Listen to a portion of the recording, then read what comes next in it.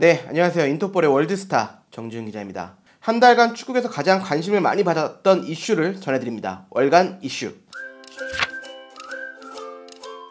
네, 중국 우한에서 시작된 코로나19 바이러스가요, 전 세계에 확산되고 있습니다. 유로 2020, 2020 유로 2020이죠. 이어 도쿄올림픽까지 1년이 연기가 됐습니다. 이번 월간 이슈에서는 도쿄올림픽 1년 연기에 따른 축구의 여파를 좀 알아보도록 하겠습니다.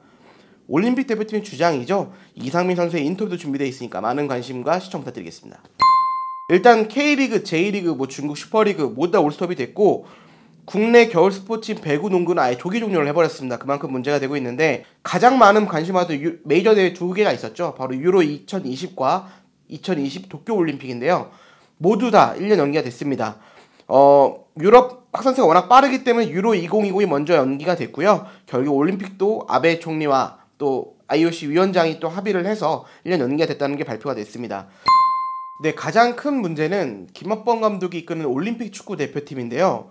올림픽 대회 자체가 군면제 혜택이 걸려 있기 때문에 상당히 민감하기도 하고 선수들에겐 정말 중요한 대회입니다.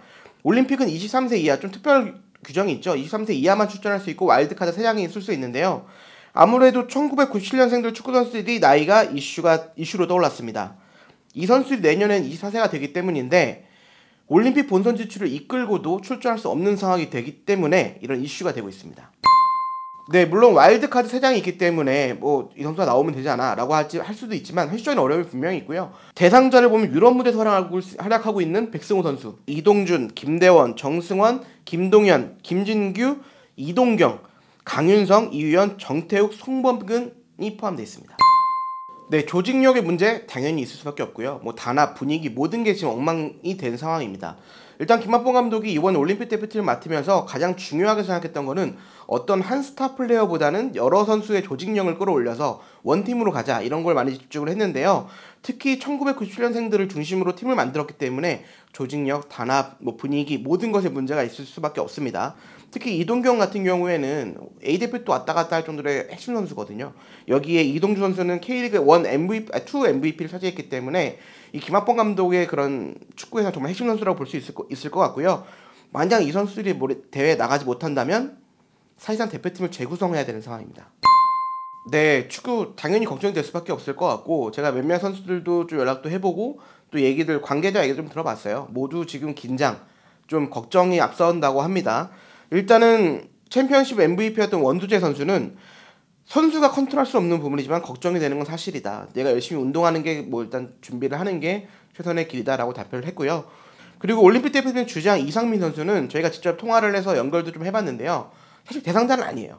1998년 1월생이니까 빠른 생이거든요.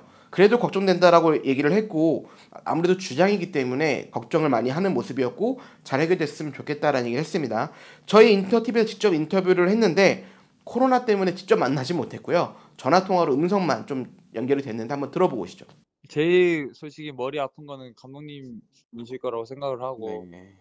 어떻게 지금 저희가 그런 부분에 있어서 저희가 할 수 있는 부분이 없으니까 음. 저희는 저희가 할 수 있는 그런 운동장에서 보여주는 그런 모습밖에 제가 할 수 있는 일에 충실히 하는 방법밖에 없다고 생각합니다. 음. 일단. 제 개인적인 생각을 좀 말씀을 드려야 될 것 같은데 이번 도쿄올림픽이 연기되면서 2020 도쿄올림픽이냐 2021 도쿄올림픽이냐 이런 논란이 좀 많이 있었거든요. 근데 결국에는 2020 도쿄올림픽으로 쓰기로 했습니다. 그럼 명칭을 그대로 썼으면 사실 제 개인적인 생각은 이 선수의 기회를 줘야 된다. 1997년생 축구 선수들의 출전을 허용해야 된다는 생각을 갖고 있습니다. 그리고 본선 지출 본선 티켓을 이 선수들이 땄잖아요. 물론 뭐 여러 선수들이 있겠지만 이 중심적으로 딴 선수들에게 기회를 줘야 된다라는 게 당연하다는 생각을 좀 가지고 있고 군면제 혜택이 걸렸기 때문에 상당히 중요한 대회거든요. 이 대회만 바라보고 준비한 선수들이 대다, 준비한 선수들이 대다수입니다. 그러니까 이 선수의 기회가 가는 게 맞다라고 판단을 하고 있고 어, 스페인 매체 아스에서도 언제가 됐든 1997년생 축구 선수들, 선수들이 참여를 해야 된다라고 주장을 한 바가 있습니다. 네, 지금까지 코로나19 바이러스 여파로 문제가 된 올림픽에 대해서 좀 올림픽 특히 축구에 대해서 알아봤는데요. 이 선수들이 앞만 바라보고 올림픽만 바라보고 여기까지 달려왔기 때문에 이 선수들에게 좀 기회를 줬으면 하는 바람이 있습니다. 어, 세계적으로 비상사태가 걸린 지금 하루빨리 바이러스가 종결되기를 종식되기를 바라고 있고요. 월간 이슈는 오늘 여기서 마무리하겠습니다. 감사합니다.